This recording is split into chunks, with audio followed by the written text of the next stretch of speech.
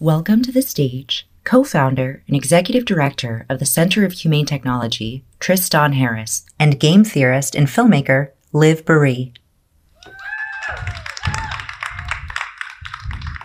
I think what we wanted to kind of use this time together really interactively. I mean, we don't have to, we have a rough plan of things we want to talk about, but is just how do we get better at pointing our attention not at bad guys, at the bad CEOs, at the bad corporations, which there are bad CEOs and bad corporations, but notice bad games.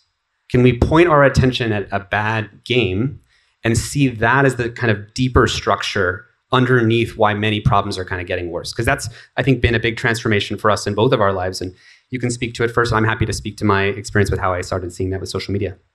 Yeah, I mean, I think the first time I sort of noticed uh, these kind of dynamics emerging in my own life was when, you know, you're playing a game of poker and everyone agrees. You know, the, the reason the game works is that everyone is in agreement of what the rules are and what what are, is allowed to be done versus isn't allowed to be done.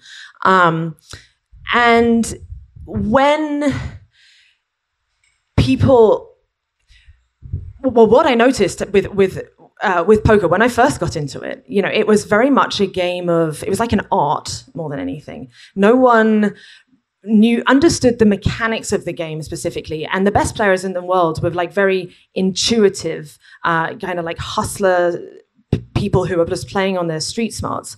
But through the march of technology, um, when we then like got online poker and um, the ability to like uh, save your hands in digital format after a big playing session, it created the incentive for everyone to start building uh, software like that could analyze, analyze, um, analyze all of uh, all of this information, and it created this kind of arms race dynamic where if you didn't uh, use the latest software to to examine your hand histories or to like study the game theoretic optimal uh, solutions, you would get behind left behind everyone else who did, and at least in poker, this arms race dynamic was by and large. Um, you know, in some ways it created bad outcomes because it took away a little bit of the magic of the game. Now it's like, um, you know, it's, it's, become very scientific, and you you have to uh, you, don't stand a chance basically if you don't study with it with uh, these analysis softwares. But overall, the externalities of this competitive situation are fairly limited. But in all of these examples we're going to talk about, like the externalities are strictly negative, and it's this same dynamic of like a combination of like short-term uh, incentives acting on the individuals that in aggregate are misaligned with the good of the whole. Yeah and when so what i hear you saying is like there's this game of poker and people are developing strategies and there's got one set of people developing good strategies other people developing good strategies. Suddenly this new group comes along and they're like this ai powered poker player. Yeah. and they're just doing they're starting to outcompete everybody else in the field and so the other guys can't win by just trying to not do the AI power thing. They have to also analyze the data, build a predictive model, get better and better, and match them in that power. Whether they want to or not. Whether they want to or not. Yeah. And so it becomes this race to the to the to the bottom, race to the edge, in which we end up playing a game where we we're not even having maybe fun until then you get to this news phase and you're, you're playing a better game. And I think ultimately what we want to do is get better as societies of noticing these bad games so that we don't spend all of our energy like lobbing against that one po- poker player, being upset at him, and instead realize that we need to change the game so that either everybody gets those AI powered poker capacities, or you know, or we no one gets them or something like that. Uh, another example of this I like is um, you know these beauty filters that are on like Instagram and TikTok everywhere, right? Um, has anyone here ever used them? Tried them? Felt like they no post a picture and then be like, I look really good in this, I'm going to post it.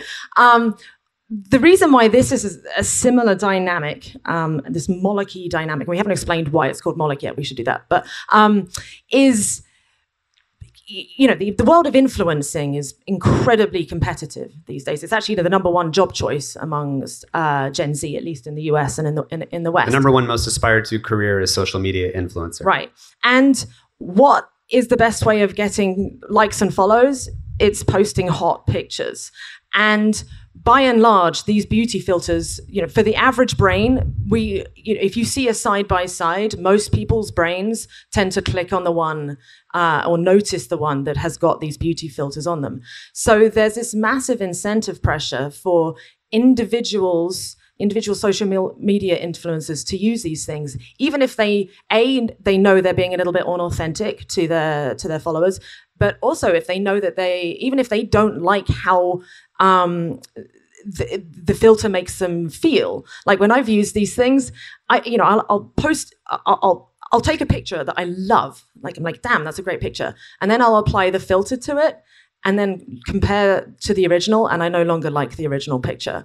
And it's horrible for your mental health if, if you keep doing this continuously. Not to mention if you're like on social media and you're seeing everything and it's you can't tell what's real, what's not, but everyone seems really hot. It's gonna make you feel bad about yourself. But everyone is trapped in this situation where well, I might as well use them because I know that everybody else is. And if I don't, I'm not going to be competitive um, against my peers. So, yeah, another example of Moloch. And to deepen that example, since um, we do all this work on, on social media, we hear from so many kids who uh, there's like a teen girl will say, I'm worried my boyfriend will break up with me if I stop using the beautification filter because he's hooked to me based on a false impression of what I look like. And so now to so go from like there's these comp- you know there's these people who are caught in a race to add beautification filters. On the social dilemma side, how many people here have seen the Netflix documentary Social Dilemma? Okay, awesome. A bunch of you, awesome. Um, so that's you know just to actually give a little backstory on that. Um, so in, in that film, if you remember, in 2013, I was actually at Google and I was starting to notice the tech is going in this worse direction. It's like it seems to be kind of pushing society into this more addicted, outraged, distracted, polarized, validation seeking society. It's like, what is that? There's this weird, invisible force that's kind of pushing in that direction. And I, um, I remember just sitting there, and all my friends at, in college, uh, my friends in um, at Stanford were the co-founders of Instagram, and they built these things. And we were all in this lab that we've talked about many times together. Uh, there's a class called the Persuasive Technology class with BJ Fogg. And we were all learning these techniques about how do you influence people's psychology. And they were building that into the way Instagram worked. And so these apps that when you're talking about the influencers have no choice but to add a beautification filter, well, the apps have to compete also, mirror, mirror on the wall, which of these apps makes me look best of all. If Snapchat adds a beautification filter, TikTok has to follow. And in your video, Liv's done a great video you should all Google later called um, The Beautification Wars or Moloch. Uh, Beauty Wars. Beauty yeah. Wars, Beauty Wars. And uh, in your video, you talk about how TikTok was even found to invisibly, be, without even asking people, in, uh, beautify your photo by like less than 5%, 3% or something like that. Because the point is, we again, we prefer the thing that we use that makes us look the best. So that you're talking about it first on the user side, that users are caught in this arms race. Then there's the people making the things. Now, can Instagram or Snapchat choose to take away the beautification filters now that they're there? They're just going to lose to TikTok or, or the other one that keeps adding the beautification filters. So that's where this phrase came up in the presentation that I gave in 2013 to Google that went viral and caused this kind of stir in the company, where the phrase the race to the bottom of the brainstem, right? It's a race for who can reverse engineer more secret backdoors into influencing the human mind. And if you innovate another one called pull to refresh, you're just going to outcompete the guy that doesn't do the pull to refresh slot machine. And if you innovate, like TikTok did, a full screen video takeover where you swipe and it takes over the full screen, the reason TikTok is winning over Instagram is because Instagram has continuous scrolling where you you scroll, but then you can kind of keep going between. You can be halfway between one photo and the next one. But TikTok's winning because they created this format that's like it snaps to take over the entire thing, right? So they're they're figuring out more and more of the edges and features of the geometry of like what keeps us engaged, but that in net in aggregate produces this more addicted, distracted, polarized, narcissistic, misinformed society. Um, and I, th- I think it's worth mentioning there that it's because the what rewards the companies directly is getting what well, their goal is to generate as much ad revenue and they get that by maximizing user minutes on there um, and you know, people coming back. So, in other words, engagement. But engagement is only loosely correlated with what is actually good for people. Like if someone in their highest, wisest self was to be like, what do I want in life? Yes, I want to be entertained and have a nice time. But engagement only partially does that and in some cases it's completely decoupled and even inverse from it you know it's like the, the, the rat's on heroin like technically the rat will keep going back and pressing the heroin button because it's um, it feels nice but you know we know and probably if the rat could have a higher mind it would also be like I, this is not what i want to be. But it can't stop because it's it's so effective at doing that. And these technologies you know they're, they're throwing more and more resources into winning this game not because they want to turn everybody into zombies but the nature of the game demands it. So let's also talk about um, oh shit i just had a train of thought lapse. Um, uh, I was going to add a couple other ones. So another one is loneliness. We have a massive loneliness and mental health crisis, right? But if I don't maximize engagement, you sitting by yourself on a screen doom scrolling, I'm going to lose the guy that will. So that's this another tragedy of the commons where we get mass loneliness everywhere around the world because everyone is caught in this bad race. Another one is ego pumping. So literally TikTok and Instagram are in a competition for who can promise the mac the most visibility. If you post the same video on Instagram as you do on TikTok. It's a race for who can promise more people will see it. So, for example, the way TikTok has won that race is they designed it so it's like um, you scroll really fast through a lot of stuff. So think of it like the number of swipes per hour on TikTok is going to be a lot faster because they engineered it for that just rapid one one one one, which means that the view count for every video, every photo is going to go up a lot faster than on Instagram, where people are scrolling more slowly through like a long list of their content right? So you start seeing how one design strategy produced way more volume of views. So now the teenager who just posted their video is like, I reached a million people today. But really, you reached like half, like this little micro part of their brain for a microsecond. And so this number is ego inflation, and they're competing to boost that number. Now, the reason, the thing I wanted to say when I lapsed a second ago was the reason all this is important is because it says something about where do you intervene in a system is the solution to this problem let's go to Washington, D.C. and regulate content moderation. Let's regulate this content is good, this content is bad. And if we just got the bad content off of TikTok, Instagram, whatever the thing is, we'd somehow live in this utopia where social media is good for humanity. I want you to see that that reason that that solution is not good is because it doesn't deal with the race dynamic. And so I just wanted to say that because the point of this, I think, for us is to train our attention on how do we solve problems more effectively in the world. And instead of getting upset at one company who is screwing up teens' mental health, like Snapchat is doing a bunch of negative stuff to screw up teen mental health. And we could put all of our energy on that, or we could realize that Snapchat is caught in a bad dynamic, right? And so I think that's maybe a helpful place to then introduce Moloch, which is how do we all get good at slaying Moloch? So what is maybe Moloch? Yeah, well, I'll give you a little bit of the history of where this term Moloch comes from. It's M O L O C H, by the way. Um, it's actually from an old Bible story about this. Um, there was this war obsessed cult in like the Canaanite times, apparently. Um, hopefully, they aren't real uh, because they were so determined to win wars that they would they started idolizing this this sort of god demon effigy thing. It looked like a bull um, called Moloch, and they would sacrifice their children, make the ultimate sacrifice, you know, the thing they love the most, their children to this thing, um, in the belief that it would then bestow upon them um, all the military power they could ever want to win wars.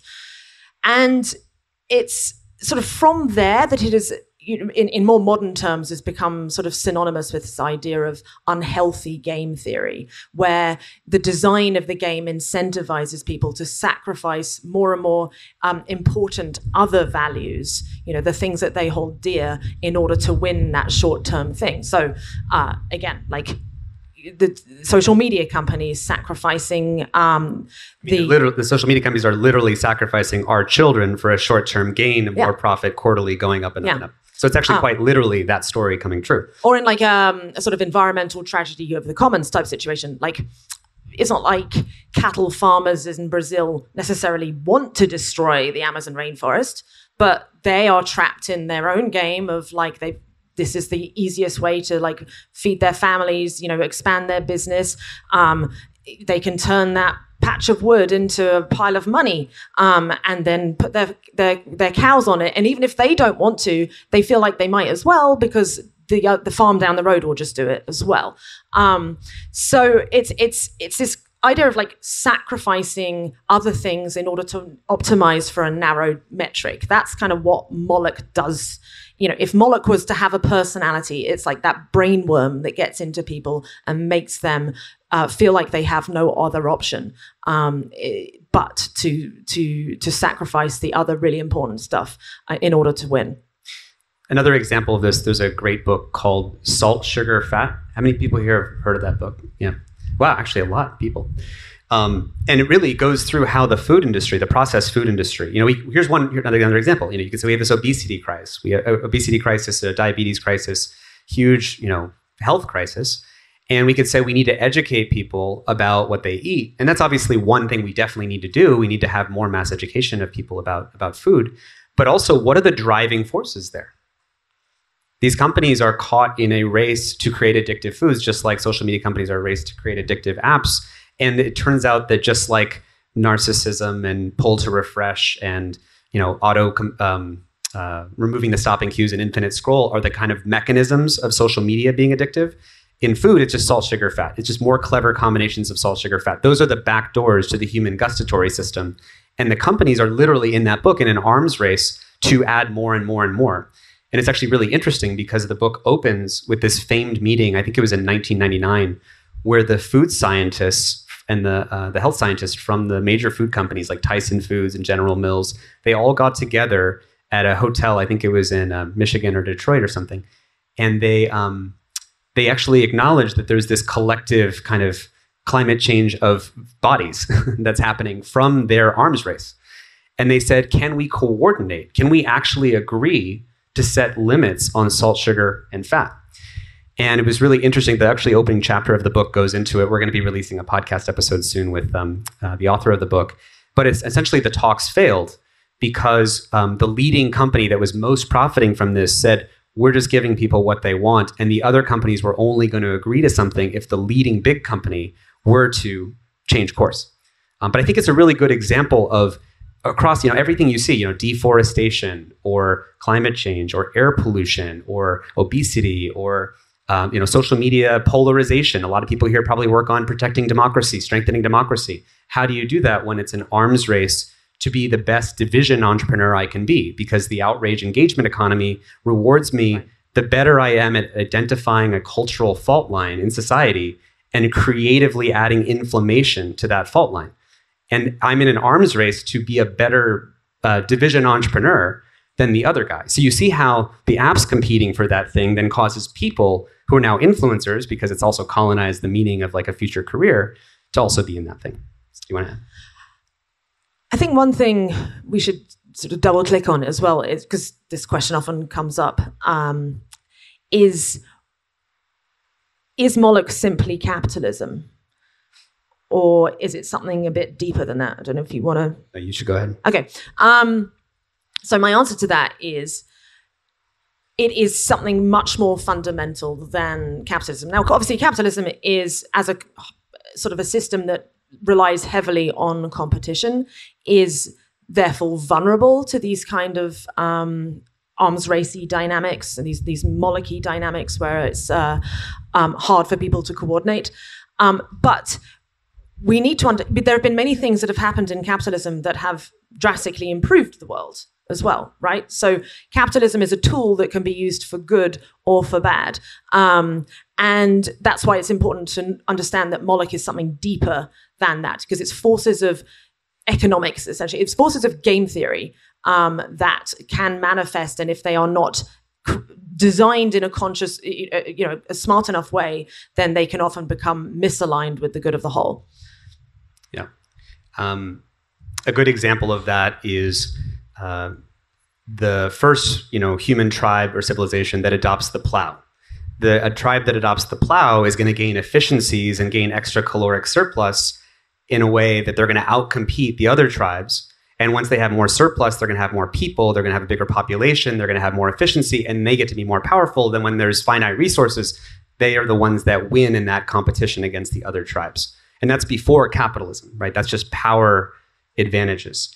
Um, but it goes everywhere. So, for example, for those who care about animal rights, well, which civilizations are going to outcompete the others? The ones that see animals as resources to extract the meat and food and, and you know, uh, transport from them, or the ones that see animals as sacred so you can have values and say animals are sacred, but your society will probably get outcompeted by the society that actually sees animals as resources.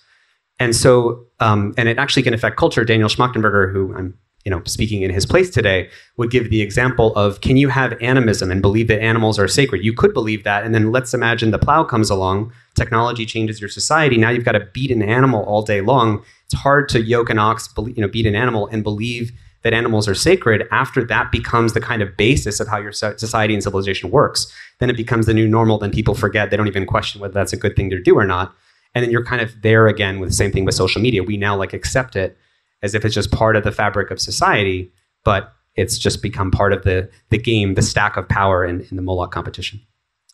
Uh, one thing I think we should uh, dig into a bit as well is the role of AI yeah. in all of this, because you know, there's the classic um, AI arms race that could potentially be, well, that is playing out, essentially, you know, the race to artificial general intelligence, where again, arguably the, the companies that go as fast as possible are, you know, they're, un, they're incentivized to go as fast as possible, even if they know the big picture, it's probably not good for humanity if they go as fast as possible and don't pay attention to safety at the same time, if they don't do it, then they're going to, you know, they assume they are going to be better stewards of this thing than the the other company in the other country. Um, so they might as well. And so there's this competitive pressure that makes safety sort of go by the wayside. So there's there's that manifestation of Moloch in AIA, but also the thing about um, AI is that it's it's an incredibly universal tool anything it can be used for, it will be used for as long as there's the incentive pressures uh, to to do so. And so as as you know we're seeing we're seeing more and more these like narrow ais that are popping up that can be used for all kinds of different industries different games essentially and some of those games are good, which is great. That's why we might be curing cancer in the next 10 years and all these other like wonderful things on the horizon. But some of these games are very bad. Like if, uh, again, individual deforestation company, well, farmers that want to cut down the rainforest now build an AI that help them figure out how to cut it down faster, that would be bad, right? And and or mining and extraction. Now I use AI and satellite imagery, and I can do ground penetrating radar with AI. I can do better signal detection to figure out how do I do extraction better. Right. So AI will supercharge all of these win lose games on if I don't race to extract the copper from the mines in Chile and forget the externalities, I'm going to lose to the guy that will. But now AI is going to come in and supercharge every one of these win lose games optimizing supply chains, optimizing extraction, optimizing social media for addiction, optimizing a, rela- a, fake relationship on social media to be as engaging, flattering, addicting, and you know sugary, nicotine as possible. Yeah, so we've got about 10 minutes left. I oh, think really? we should okay. Yeah. we should um, talk about some examples where we have actually successfully gotten ourselves out of a Molochy situation where we've uh, you know either redesigned a game um, to make it healthier or we've all collectively sort of figured out a way to communicate to just stop playing it entirely. Um, you've got a really fun example uh, from Colombia. Yeah, there is this traffic intersection in Bogota uh, where there was like the worst traffic in the world in the, in the city and um, of course, in that game, if you don't just like keep racing to do the amor- amoral, like don't look your past your periphery, you know, keep going as fast as you can. Um, everyone just kind of races to do the micro next short-term win for them. So it's just the worst traffic intersection in the world. And the mayor of Bogota was sitting there figuring out how am I going to solve this problem?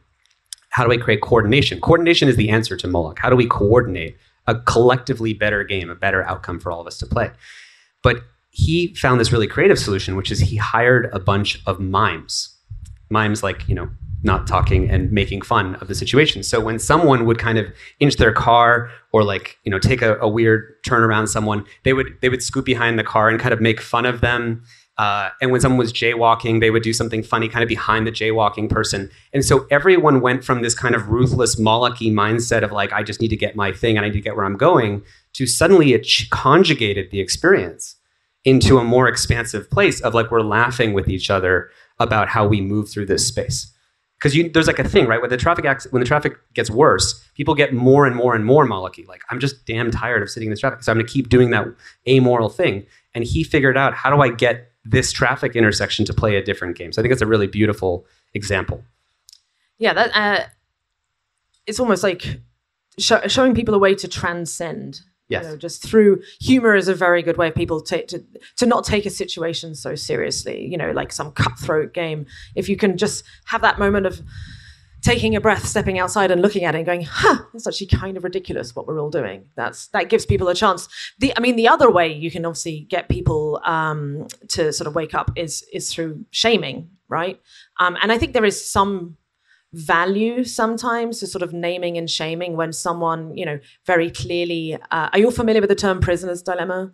Um, yeah. So, you know, essentially what Moloch is is a multi-way prisoner's dilemma. The, the classic instantiation is just two people, um, you know, and they'd be better off if they cooperate. Um, but because of in, individual incentives in the short term, you know, from an individual perspective, it's better to defect. Um, and what Moloch is is basically that, but scaled over hundreds or thousands of people. Um, what was I going to say? Uh, I mean, I can give another example that for a long time in interpersonal relationships, if you think like, how many people here know Marshall Rosenberg and nonviolent communication? A good chunk of you.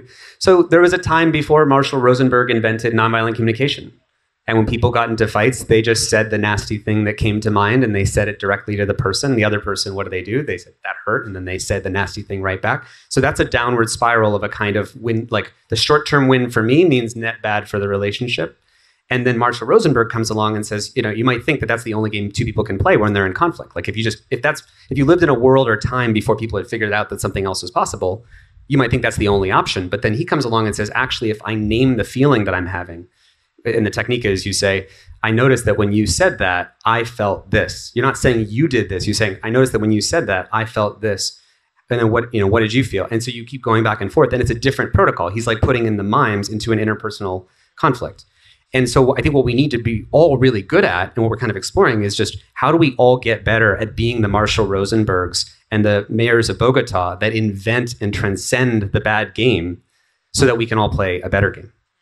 And I think I I've personally found helpful. Uh, I used to be just like a pathologically competitive person, uh, which is probably why you know poker appealed to me so much because it was just like oh I can sit there and get in someone's mind and figure out how to. Particularly, it was like a boys' game, and it's like I can beat the boys at their game, and uh, and but it, over you know as I matured, I you know I could now look back at that old person and be like, wow, she while I was very good at winning that direct thing, I was not a very happy person. And I was often quite a jealous person. Like if there was someone that I considered a sort of a peer or a competitor and they won a tournament that I felt like I should win, like that, it was this you know, like the, the sort of emotions that um, overlap with Moloch are like jealousy, scarcity, um, narrow mindedness. Um, so I was then thinking, like, okay, so if Moloch is the, the god of unhealthy competition, lose lose games, what's the inverse of that?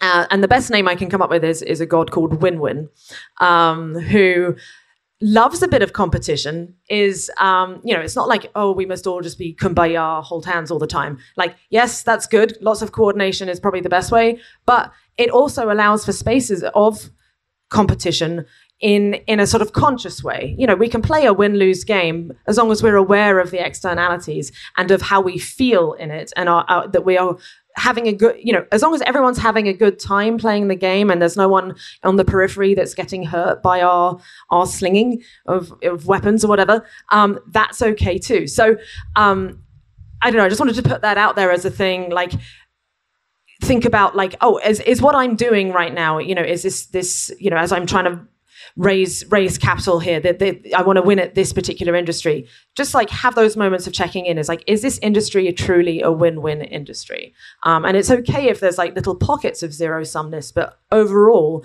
is the world better off for that game having been played in the first place? I think the ideal form of transforming a game is actually figuring out an entirely new win-win game rather than putting a bottom on the race to the bottom. But there are different strategies, and one, a couple other race to the bottom limits are the Sabbath. Uh, if Daniel were here in my place, he would say one interesting interpretation of why is there a Sabbath? You know, taking one day off completely to you know from work, from technology, and in fact, I think there's something like 29 penalties or something like that if you if you violate the Sabbath. Like, why is this such a serious deal? And the answer is that if if the work week becomes the place to relatively get your advantage over the other guy, versus everybody taking that one day to have Shabbat, to have Sabbath, to have something like that, where we're all stepping back from that narrowness, that that scarcity, into a more abundant place. Like it's a different. It's an interesting interpretation of why where religion is putting a binding of what otherwise by otherwise be a race uh, for that for winning. One of the other inspiring examples um, from my uh, chief of staff is actually from the 1995 protocol um, to ban blinding laser weapons.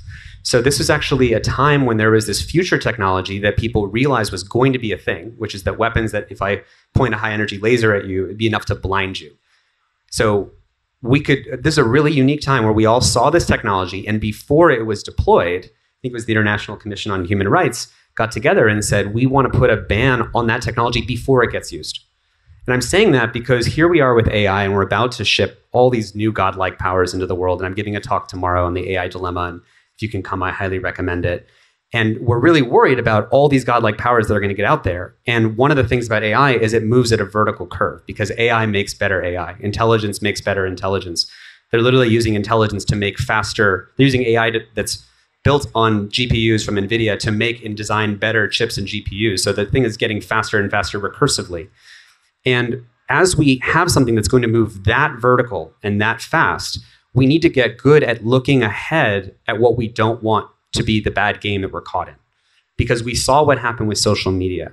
We let it get fully entangled with our society. We let this game perversely screw up children and then create other games where if I choose as an individual kid to not use it, I just lose to the kids that still use it. That's one of the for parents out there, by the way. That's why it's so hard, is that as a kid, if I choose to not use Snapchat, I'm just losing out on all the sexual, social gossip, homework being passed around on Snapchat where I'm, I'm out of the game. I'm socially excluded.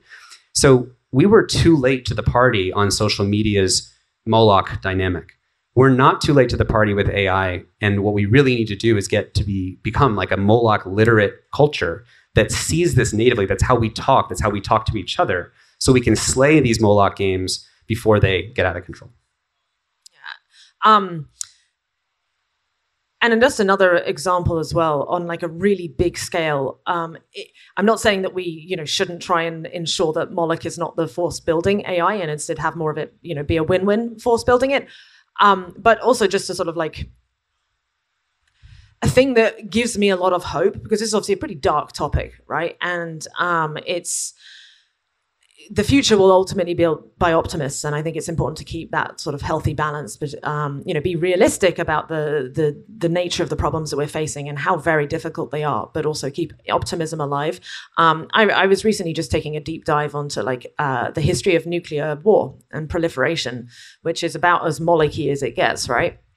Um, but despite these incredible incentives to keep building more and more nuclear weapons and like bolster your arsenals and all these like technological improvements which should technically you know threaten the you know the sort of quasi stable state of mutually assured destruction. Even under all those situations, we managed to build treaties um, and third party organizations like the IAEA um, to help these individual states, which are at loggerheads, coordinate for the greater good. And like in some ways, like, you know, we are okay, things feel a bit sketchy right now, obviously, with the Russia Ukraine war. But when I was born back in like 1984, there were 60,000 nuclear weapons on Earth. 60,000. A few years ago, you know, the last count, basically, there were 12,000, which is still a fuck ton. It's an unacceptable amount. But that is a huge improvement, which, you know, from a Moloch perspective, shouldn't really be able to happen because these guys don't trust each other, right? Like, um, they, you know, something made them get to that point, but something also helped them roll it back. So it is possible yeah. to even rectify um, you games that we are already entangled in as well. So we need the sort of a double on pronged approach. But we, I agree with AI, like, and we limited nuclear weapons to nine countries. And I want to say there were nuclear scientists who actually committed suicide late, soon after the birth of the atomic bomb because they said, it's over. They would literally, be, there's a story, I think it was a Feynman, he was back in the taxi cab or something. He's looking at a bridge being built in New York City in like the 50s or something. And he's like, what's the point? We built nukes, it's all over. Like why? And, and some of those scientists, they committed suicide because they saw the logic of Moloch. So that, we're trying to do this weird thing here where we want to train ourselves to point our attention at this thing that I think often makes people feel helpless because it's like, well, how are we ever going to change the game? But we've done it before. We also signed the Nuclear Test Ban Treaty. Uh, people don't do above ground uh, nuclear tests. And that comes from human level trust. One of the other famous stories, I know Zach Bell is here. We've um, heard this story, I think, from some people at Esalen. How many people here know Esalen in the California? Of course, at Summit, most people would know Esalen. Most people in the world probably don't know Esalen. Um, where they used to hold these things called track two dialogues, and they had the um, the KGB and the CIA agents dropping acid in the hot tubs together to create a different way of relating to this thing that they were stewarding, which is the prospect of nuclear war. And how many people here know the film The Day After? Only a few. So this is actually really important. There was this film made in 1983 um, called The Day After, which was a it was the largest made-for-TV film event in human history. So 100 million Americans tuned in on primetime television to watch a made-for-TV movie about what would actually happen if there was a nuclear war. And it followed the course of some families in Kansas and um, you know who live near the nuclear silos, and they hear the the ringing of the alarms, and they see their nuke go off and shoot from the silo, and they, so they know there's like 30 minutes until something happens. This film, at the time, there was this this shared fate of nuclear annihilation, but humanity didn't really take it seriously. We put it at the back of our mind. The director says we were literally repressing it at the back of our thoughts. And um, he said what we needed to do is actually bring it from the back to the front so we can actually stare face to face with what we're really dealing with here. And 100 million Americans tuned in. And apparently Reagan saw it, and it was the only, apparently his uh, biographer said he got depressed and cried watching the film and when Reykjavik happened and Reagan and Gorbachev, because the film was also aired in the Soviet Union four years later, it created a shared image of this is the shared catastrophe that no one fucking wants. And that uh, the the guy who was in Reykjavik emailed the director and said, "Your film had a lot to do with this happening." So that's a really inspiring story. That if you can create a new shared reality about an omni lose lose outcome that no one actually wants, you can change the course of how the game is going. And we need that kind of thinking around all these games, whether you work on health or animal rights or health uh, education or social media or strengthening democracy. What is the Moloch multipolar trap that we're in?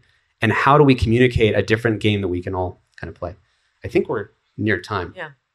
Yeah, thank you. I mean, I, I the only thing I'd like to add is like my my current favorite catchphrase, which is "Don't hate the players, change the game," because so much of um, you know, particularly with p- political polarization, like the fact that we are being told to like blame the enemy. These are the guys causing climate change. These are the guys uh, preventing us. Uh, you know, building some terrible new thing and so of all the while we do that it makes it harder and harder to coordinate and actually it makes us lose sight of the real enemy here like which is this moloch creature. That's why i think the i you know i'm not a particularly religious person but i think there's some real wisdom in that story from the bible from the canaanite times. Like that it's the same thing and i think giving it like a, a sort of a face and a personality makes it easier for people to sort of like point to it. And you know if we are going to we need a scapegoat. That is the it is the real scapegoat because it's the real enemy. Um yeah. Thank Thanks. you so much. And yeah. tomorrow we're also i'm giving this talk on the ai dilemma. If you want to go deep into how ai issues are Highly playing recommend. out in that way you should come